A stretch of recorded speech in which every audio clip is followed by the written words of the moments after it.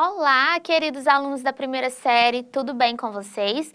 Vamos então para mais uma aula de matemática com a professora Luara. Pessoal, então nas aulas anteriores a gente foi trabalhando muito mais revisões para a nossa avaliação, né? Mas hoje a gente vai continuar com a nossa apostila, combinado? Então hoje nós iremos trabalhar com resoluções de problemas com funções. Nesse caso em específico, nós vamos também trabalhar com um conceito que a gente ainda não trabalhou, que é o conceito de taxa de variação, tá? Então, primeiro vamos trabalhar por meio de um exemplo e em seguida vamos resolver exercícios, problemas, né, relacionados a todo o conteúdo que a gente viu de função. Combinado? Então, vamos lá comigo. Então, primeiro vamos acompanhar o exemplo o gráfico a seguir mostra o custo total mensal Y em reais para se confeccionar X unidades de camisetas em uma pequena fábrica. Então, vocês vão observar aqui no nosso gráfico, né? Nós temos, então, é, X, que representa as unidades das camisetas, e Y, que representa o custo total mensal, né? Então, quando eu tiver duas mil camisetas, esse é o custo, 14.800. Quando eu tiver 5 mil camisetas, o custo total, então, é 29.800. Ok. Todos eles estão sendo representados por pontos, né? Ponto P e ponto Q. E aqui vocês vão observar que é o gráfico, então, de uma função afim, porque nós temos uma reta. Quando nós temos uma reta, está caracterizando no gráfico uma função afim. E aí pergunta o seguinte, qual é o custo de confecção de 3 mil camisetas? Então vamos acompanhar aí comigo. Primeiro passo a fazer é a gente considerar o intervalo que vai de P até Q. Esse intervalo que vai de P até Q é chamado de taxa média de variação. Então, é o que está variando aí do P até o Q? Em reais barra camiseta, que são as grandezas que a gente tem certo? Como é que a gente calcula então a taxa média de variação desse intervalo? Eu vou pegar então, vamos voltar lá só para vocês verem.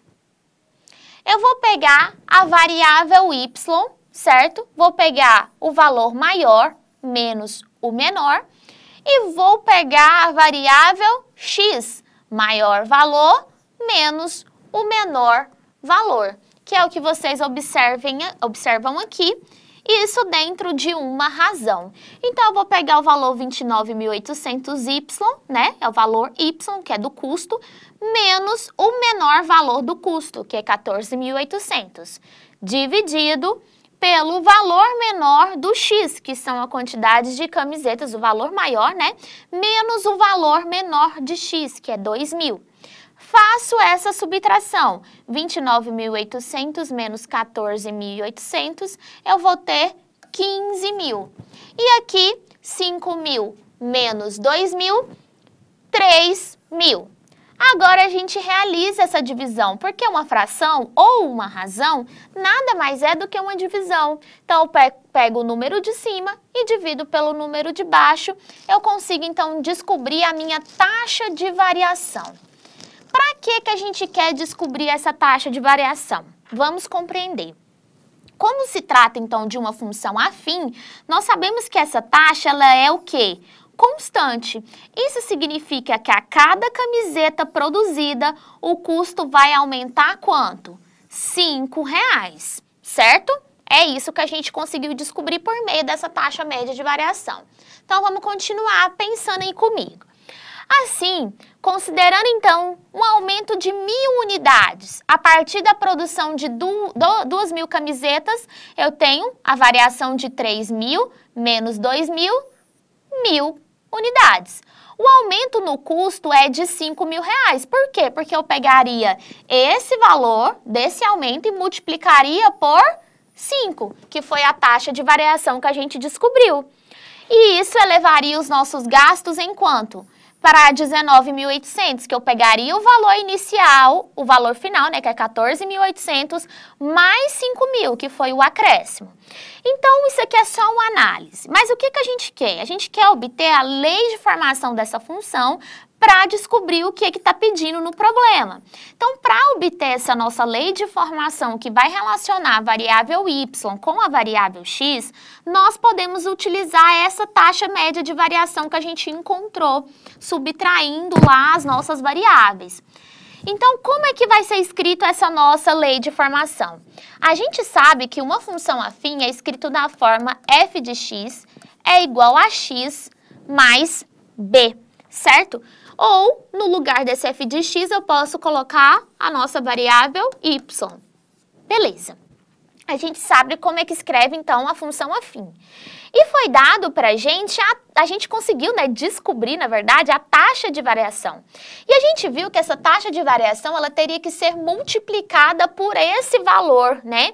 Então, quando eu escrevo a minha lei de formação, a, o que multiplica aqui pela nossa variável é a nossa letra A.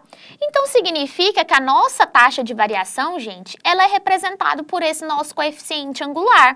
Então, esse nosso coeficiente angular aqui, gente, nada mais é do que a nossa taxa de variação, que a gente pode descobrir fazendo análise do gráfico. Então, substituindo pelo valor que a gente encontrou, nós temos então que a nossa lei de formação é y igual a 5x mais b certo? Beleza, eu não sei quem que é o B, que é o nosso coeficiente linear, mas eu sei quem é o nosso A. Então, se eu sei quem é o nosso A, substituir, eu consigo também descobrir esse nosso B, esse nosso coeficiente linear da nossa função. Como? A gente vai pegar um dos pontos que a gente sabe que pertence à nossa reta, que pertence à nossa função. O ponto, então, que eu peguei aqui foi o ponto P, 2.000 para o X, 14.800 para o Y. Então, aqui é X e aqui é Y. E o que, que eu vou fazer? Eu vou pegar esses valores de X e de Y e vou substituir aqui na nossa lei de formação, tá? No lugar do X, eu vou pôr 2.000, no lugar do Y, eu vou pôr 14.800. Então, vai ficar 14.800 é igual a 5 vezes 2.000 mais o nosso B. Resolvendo isso daqui, como é que eu vou resolver, gente? Em primeiro caso aqui, eu já coloquei direto para vocês, mas eu faria a multiplicação, né? 5 vezes 2, 10, acrescentaria os três zeros, ficaria 10.000 mais B. Continuando aqui para vocês entenderem, eu vou colocar esse 10 mil, então, aqui para o lado esquerdo. Então, ficaria 14.800 menos 10 mil, que seria igual à minha letra B. 14.800 menos 10 mil sobrariam 4.800, igual a B. Ou o nosso B seria 4.800. Assim, então, descobrindo o valor do B, agora eu posso escrever a minha lei de formação. Então, no lugar do nosso B, eu vou colocar o número 4.800. Assim, a minha lei de formação seria y é igual a 5x mais 4.800. Descobri, então, a minha lei de formação da minha função apenas fazendo a análise do gráfico e calculando a minha taxa de variação. O que, que vocês têm que lembrar? Que a taxa de variação é o nosso A da função afim, ou seja, é o nosso coeficiente angular, certinho? Você descobre fazendo, então, essa subtração, né? No número de cima, a gente subtrai variável y maior com variável y menor. No número de baixo, a gente faz, então, variável x maior menos variável x menor e depois eu divido os valores. Certinho? Compreenderam, então, o que é uma taxa de variação? A gente vai precisar desse conceito para poder resolver as próximas questões que vêm aí. Então, vamos acompanhar comigo. Hoje, então, vamos resolver algumas atividades, resolver problemas envolvendo tudo, tudo que a gente já aprendeu de função. Então, apostila página 232, nós vamos fazer primeira atividade de número 1. Atividade número 1 diz o seguinte. Na produção de peças, uma indústria tem um custo fixo de R$ 8,00, mais um custo variável de 50 centavos por unidade produzida, sendo X o número de unidades produzidas Letra A. Escreva no caderno a lei da função afim que fornece o custo total de X peças. Então, o que, que foi dado para gente? Um custo fixo e foi dado o custo variável, que é de 50 centavos né, por unidade produzida, sendo X o número de unidade produzida. Então, já foi dado para a gente qual que é a variável X. Beleza. Então, vamos escrever a nossa lei de formação. A nossa lei de formação, então, vai ser a nossa f de x, que é igual eu vou começar escrevendo o nosso custo variável, que é onde vai ter a nossa variável x, certo? O custo variável, então, é 50 centavos por unidade. Ou seja, 50 centavos vezes a quantidade de unidades, que nesse caso a gente não sabe, então a gente chama de x, mais 8, que é o nosso valor fixo. Resolvendo então a multiplicação, a nossa f de x vai ser 0,50x mais 8. Então, essa é a lei de formação da nossa função. Aí a letra B pede o quê? Pede para a gente indicar a taxa de variação dessa função e o seu valor inicial. Então, vou reescrever a nossa função aqui para a gente resolver a letra B. Na letra B, pede a taxa de variação e a nossa função que a gente escreveu lá na letra A é 0,50x mais 8. Eu não falei para vocês que a nossa taxa de variação é o nosso coeficiente angular, ou seja, o nosso A, e a nossa função ela não é escrita dessa forma aqui, ó, AX mais B? Então, quem é o A? Quem é o coeficiente angular dessa nossa função? O nosso coeficiente angular aqui, ó, é o 0,50. Ou seja, nosso A é 0,50 e isso representa a nossa taxa de variação. Então, essa é a nossa resposta da letra B, 0,50. Certinho? Compreenderam? E aí, na letra B, ele solicita mais uma coisa para gente. Pede para gente fazer o valor inicial dessa função todas as vezes, vou focar aqui para vocês compreenderem, que pedir para vocês calcularem o valor inicial da função, ele está pedindo para você calcular o f de zero, quando x for igual a zero nessa função. Então, o que, que a gente vai fazer? Vai calcular f de zero, que é quando x for igual a zero. Então, vamos calcular aqui, f de zero. No lugar do x, a gente vai colocar o valor zero. Então, vai ser 0,50 vezes zero mais 8. Resolvendo essa multiplicação, qualquer número multiplicado por zero é zero. 0 mais 8 é o próprio número 8. Então, o nosso valor inicial é 8, certinho? Vamos agora para a letra C.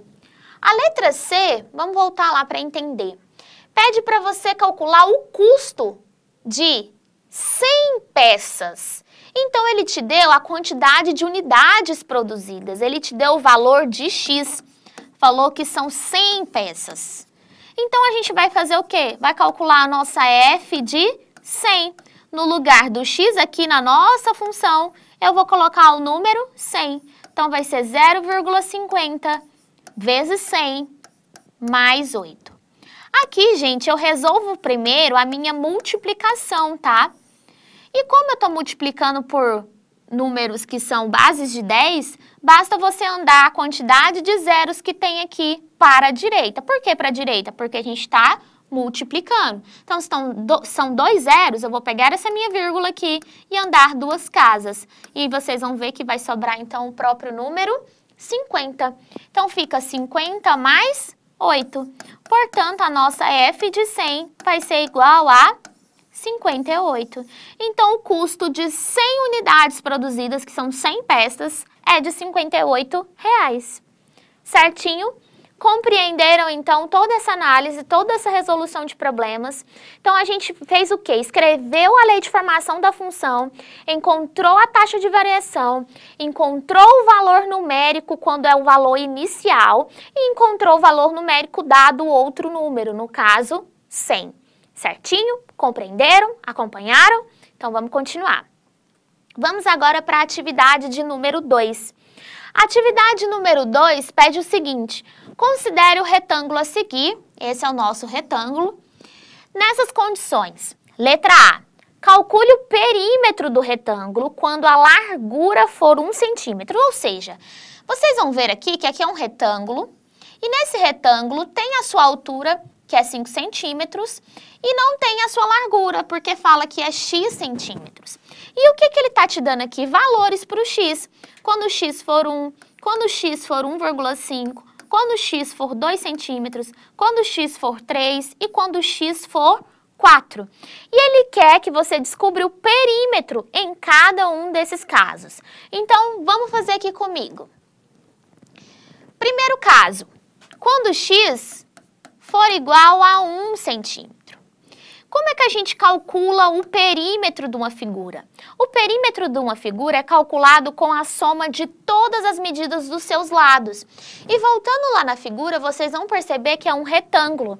Então, se aqui vale 5 centímetros, aqui também vale 5 centímetros. Se aqui vale x, aqui também vale x. E nesse primeiro caso, se o meu x é 1, aqui também é 1. Então, eu vou fazer 5 mais 5 mais 1 mais 1. Então, vamos fazer a soma aqui. 5 mais 5 mais 1 mais 1. A ordem não importa na adição, tá? Por isso que eu comecei com o lado que eu preferi. Então, vai ficar igual a 12 centímetros. Esse é o primeiro perímetro. Segundo perímetro é quando o x for igual a 2 centímetros. Então, o nosso perímetro vai ser 5 mais 5 mais 2 mais 2. 5 mais 5, 10. 2 mais 2, é... Ah, eu coloquei x igual a 2 primeiro, né? Não tem problema não. Depois a gente volta no 1,5, porque tem 1,5 também. 14 centímetros.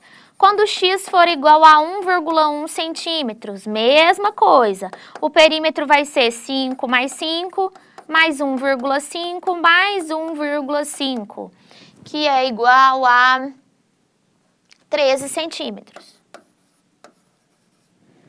E vamos continuar. Continuando agora quando x for igual a 3, porque a gente já fez x igual a 2 aqui. x igual a 3 centímetros. O perímetro, então, vai ser 5 mais 5 mais 3 mais 3.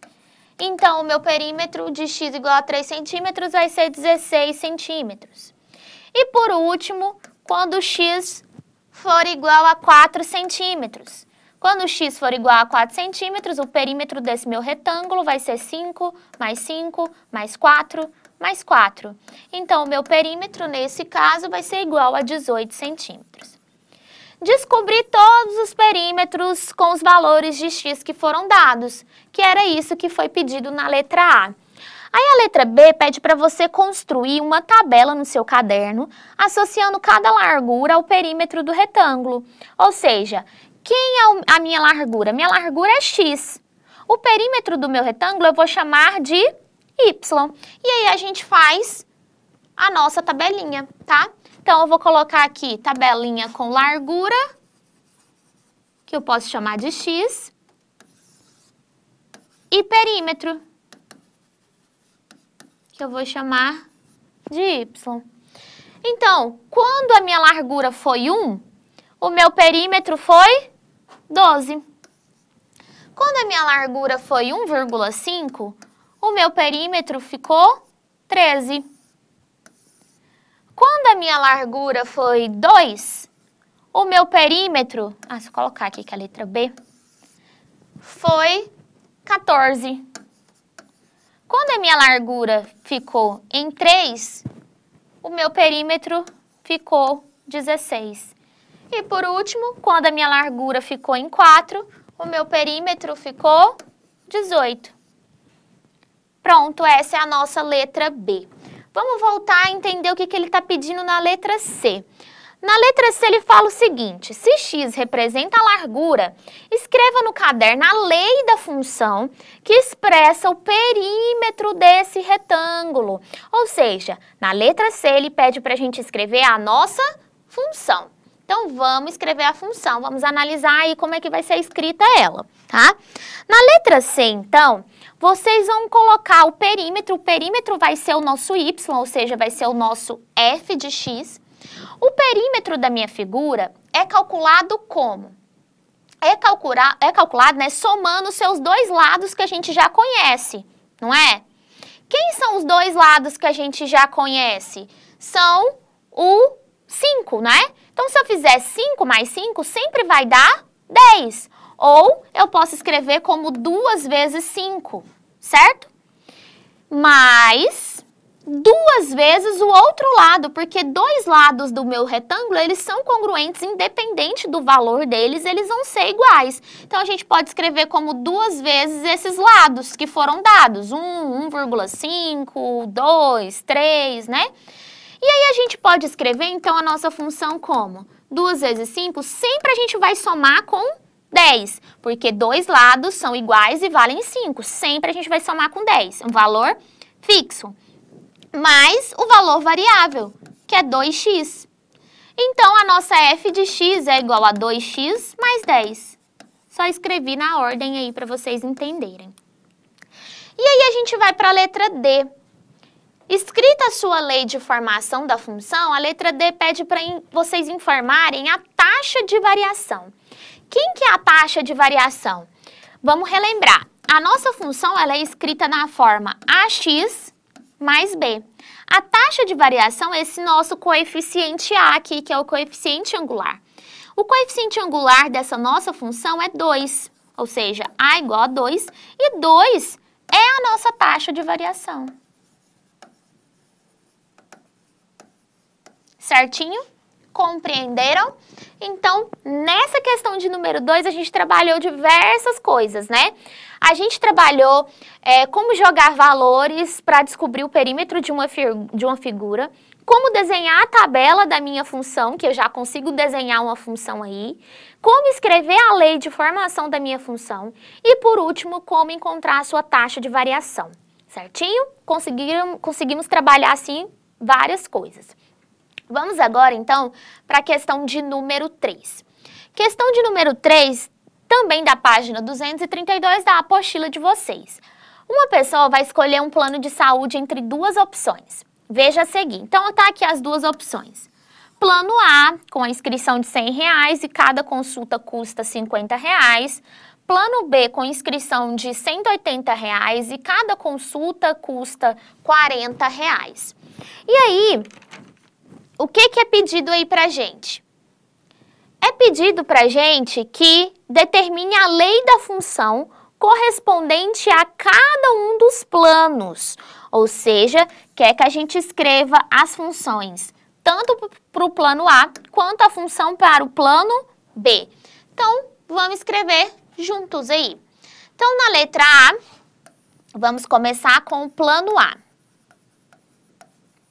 A função do plano A vai ser uma função f de x com o nosso valor fixo. Qual que é o valor fixo? É o valor da inscrição. O valor da inscrição do plano A é de 100 reais.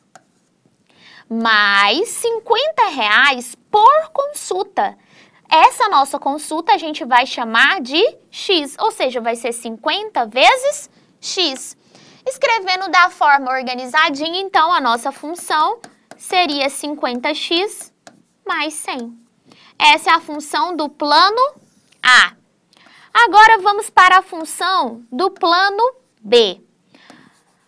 O valor da taxa de inscrição do plano B é de 180 reais, ou seja, um valor fixo, mais o valor variável, que é o valor por consulta, que é 40 reais por consulta, então é 40 vezes x. Escrevendo organizado, ficaria 40x mais 180. Certinho? Então, essa é a nossa letra A. Aí, a letra B já solicita-nos mais alguma coisa. Vamos voltar lá. A letra B pergunta, qual delas tem maior taxa de variação e como isso poderia ser interpretado? Então, vamos analisar.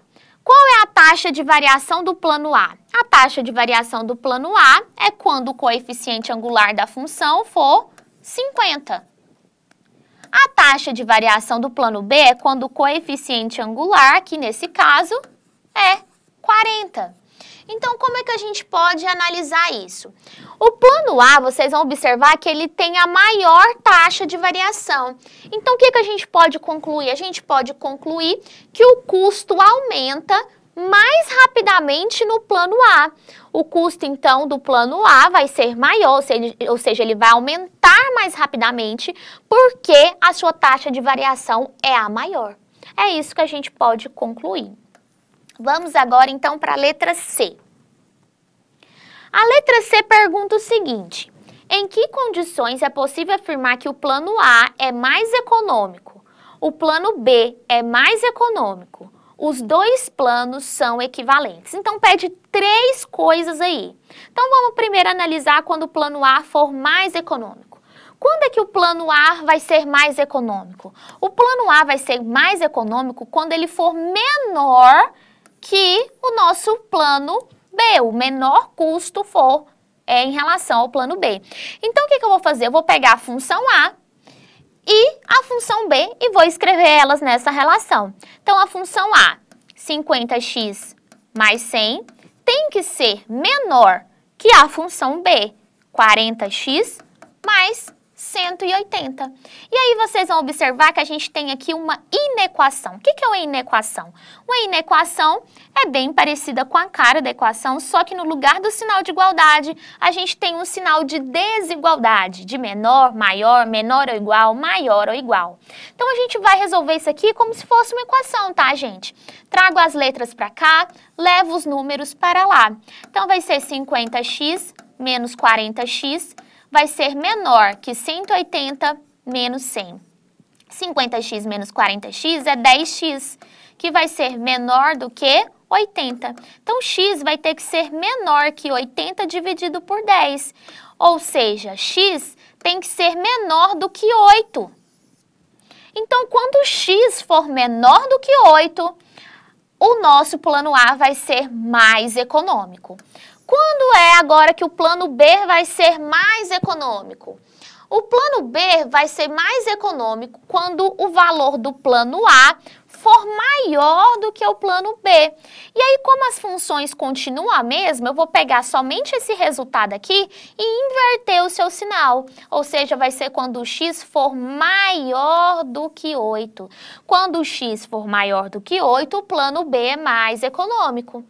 E quando é que os dois planos vão estar ali equiparados? Aí a gente usa o sinal da equação, que é o sinal de igualdade. É quando o plano A for igual ao plano B, ou seja, quando x for igual a 8. Certinho? Então, essa é a análise que deveria ser feita, certo? Todo mundo compreendeu? Acompanhou comigo? Então, agora, vamos para a questão de número 4 também da página 232 da apostila. Um tanque estava inicialmente com 10 litros de água. A torneira desse tanque foi aberta, deixando sair a água na razão de 5 litros por segundo. Aí a letra A pede o seguinte: pede para a gente escrever a função afim que representa a quantidade de água após T segundos. Então vamos fazer primeiro a letra A. A letra A, então, vai ser uma função em função do tempo t. Então, não vai ser uma função f de x, vai ser uma função f de t. E essa função f de t tem um valor fixo já, que esse tanque já estava com água. Ele já estava com 10 litros de água exato. Mais 5 litros pela quantidade de tempo a cada segundo, ou seja, vai ser 5 vezes o nosso tempo t. Escrevendo então a nossa função organizadamente, seria 5t mais 10. Aí a letra B pede o que para gente? A letra B pede a taxa de variação.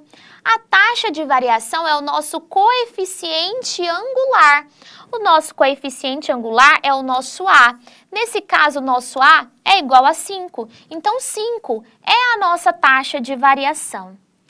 Aí a letra C pede o quê? Qual é o valor inicial? Lembra como é que é o valor inicial? O valor inicial, vou até colocar aqui no slide em branco. O valor inicial, que é a nossa letra C, é quando a nossa f de é quando a gente encontra a nossa f de zero, ou seja, quando o nosso x for igual a zero. Então, escrevendo, substituindo o x por zero, nós vamos ter a seguinte função. 5 vezes zero mais 10. Resolvo primeiro a multiplicação, qualquer número multiplicado por zero é zero, então fica 0 mais 10, portanto o valor inicial é 10. Certinho? Beleza. Agora, vamos para mais uma questão. Vamos para a questão de número 5. A questão de número 5 diz o seguinte: o proprietário de uma fábrica de chinelos verificou que quando se produziam 600 pares de chinelos por mês, o custo total da empresa era. Ai, ficou faltando aí umas partes da questão, tá, gente? Mas a gente vai resolver. Enfim. A letra A pede para a gente obter a função de x, a função dx de acordo com as informações que foram dadas. Aqui tem algumas informações faltando, mas vocês podem acompanhar aí na apostila de vocês que está tudo completo, tá? Então, vamos fazer junto a nossa letra A. A nossa letra A pede para a gente escrever a nossa lei de formação e foram dadas algumas informações para a gente. Foi dado que quando X for 600, que é a quantidade de pares de sapatos, né? O nosso custo, que vai ser o nosso C de X ou Y, tá, gente? Tanto faz. Vai ser igual a 14 mil. Foi dada mais outra informação para gente. Foi dada que quando X, que for a quantidade de pares, for 900, o nosso custo total, que é a nossa C de X, seria igual a 15.800.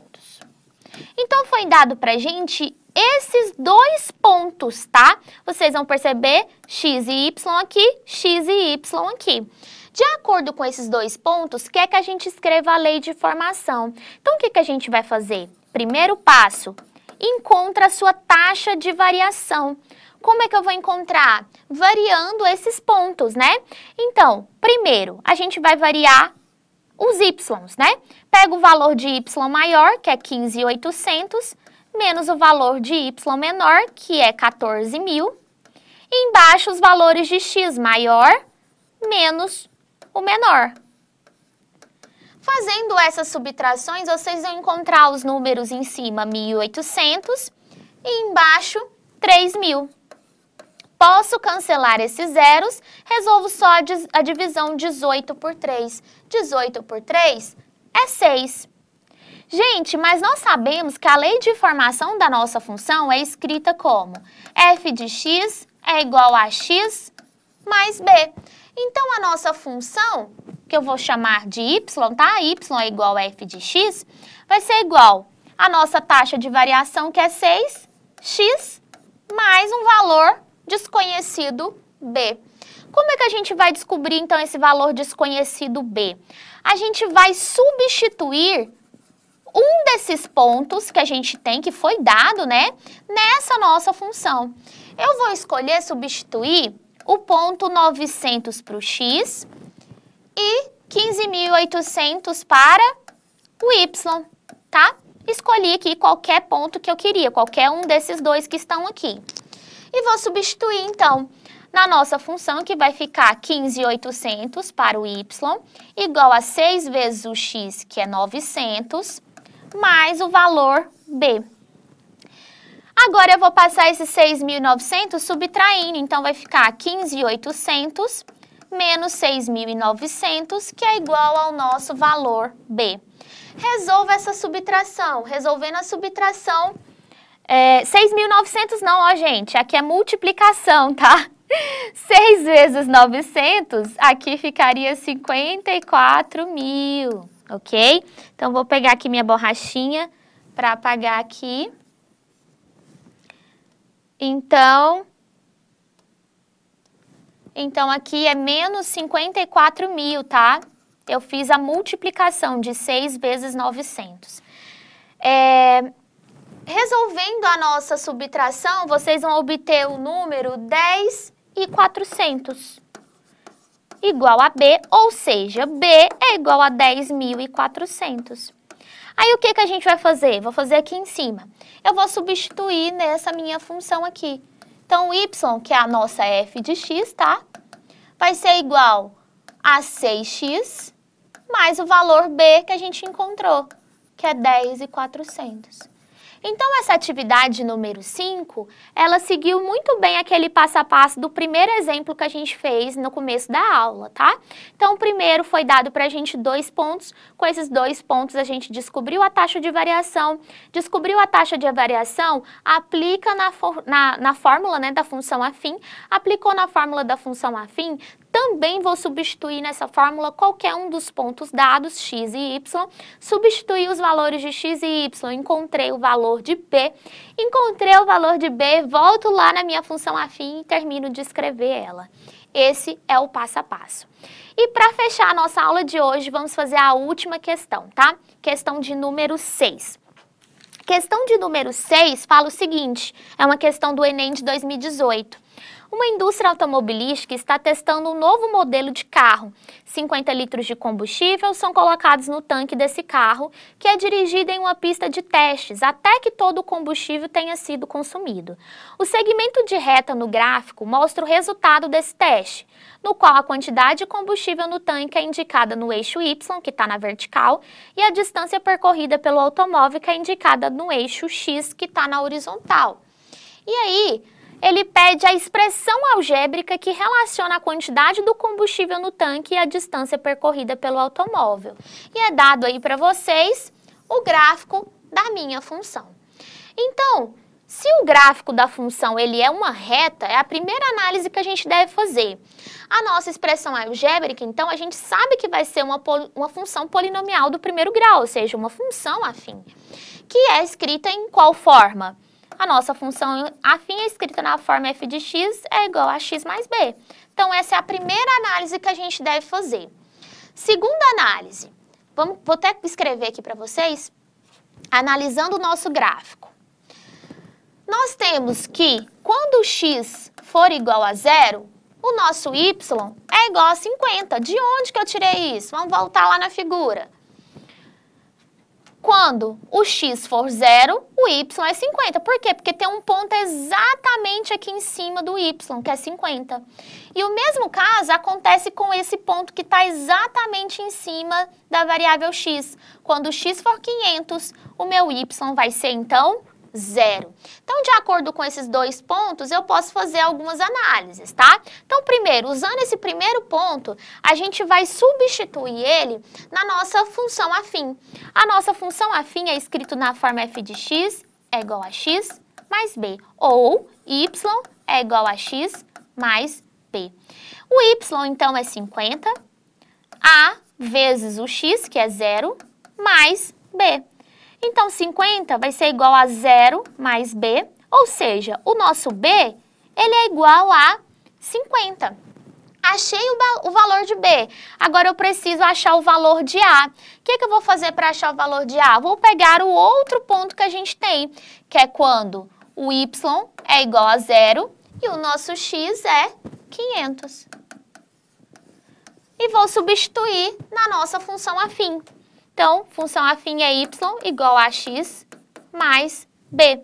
y0, a não foi dado, x 500 e o b a gente já descobriu. O b é 50, então vai ficar mais 50. Então, 0 vai ser igual a 500A mais 50. Eu vou trazer esse 50 para o outro lado da igualdade, então vai ficar 500A é igual a menos 50. Agora, eu passo o que está dividindo, o que está multiplicando, né? Dividindo. Então, fica menos 50 sobre 500. Cancelo zero, simplifico essa minha fração por 5, vai ficar menos 1 sobre 10. E agora que eu sei o valor de A e sei o valor de B, eu vou substituir na fórmula da minha função afim.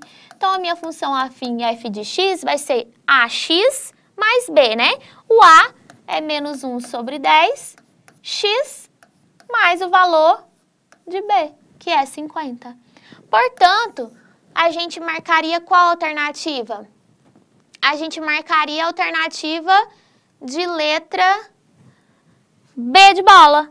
Vocês estão vendo que ele não colocou 1 aqui porque não é necessário, tá, gente? Mas essa seria a forma da nossa, então, função. Certinho? Espero que vocês tenham compreendidos, compreendido, né? Se ficar alguma dúvida, manda para o professor mediador. Essa nossa aula ela foi um pouquinho mais longa porque é uma aula dupla, né? Espero que vocês tenham compreendido todos os exercícios e por hoje é isso. Muito obrigada e até a nossa próxima aula. Tchau, tchau!